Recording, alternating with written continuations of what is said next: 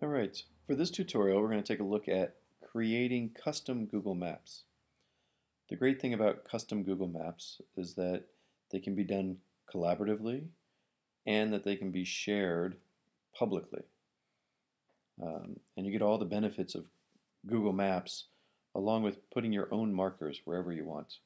So I'm going to do this very quickly and then you can take it as in depth as you want just be aware that there are already tons of resources out there for educators on books that have been turned into Google Maps based on setting and historical sites and all different types of uh, Google Maps. They also exist within Google Earth.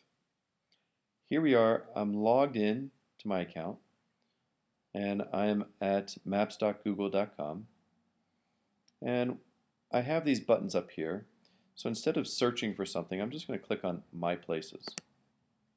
And when I click on My Places, it loads a screen that allows me to create a map.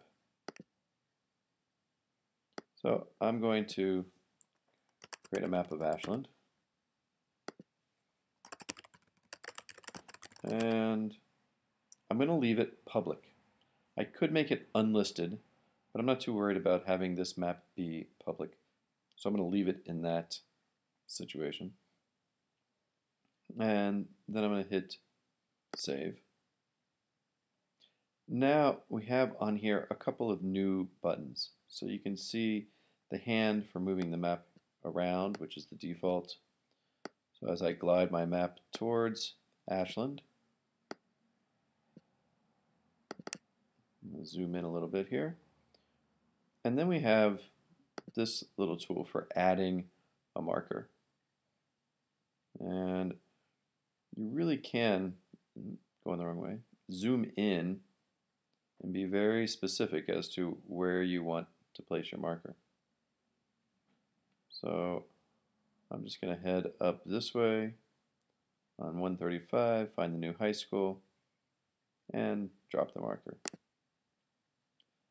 That then opens up an edit box where I can add a title and a descript description. Cool part about the description is I can actually insert images um, and whatever text I want to add in here.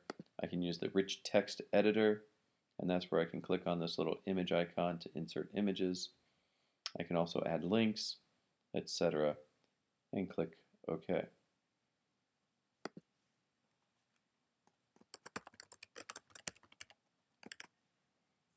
So if you imagine, I could click on this and type in an image. The only trick with the image is it has to be online. So I'd have to have a URL to an image that was already stored online.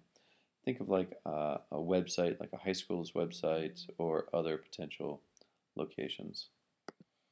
All right, so that's how you add a location. And you can get into being more fancy. For example, you can change the icon that you use. So if I'm doing a school building, um, I might find the little green schoolhouse and click OK. You can also draw shapes um, lines or actual shapes anywhere that you would like. And if I were doing a map here of all of the Ashland schools, I could go around town and plug them all in. Once I am done, I can click on Done. And it goes in. Now it's closed. If I want to edit, I can still do that. If I want to allow other people to edit this map, I can click so I can drop it into uh, this window here, and I can add a message. Finally, the most important part of a map of this sort that I want to use is being able to grab the link. And the link is under this little icon. This is actually available for any map in Google Maps. So no matter what you're looking at, even if you've created directions between two real places, you can always click on this link and copy this or you can actually put the exact map that you've created into a website by taking the code down here.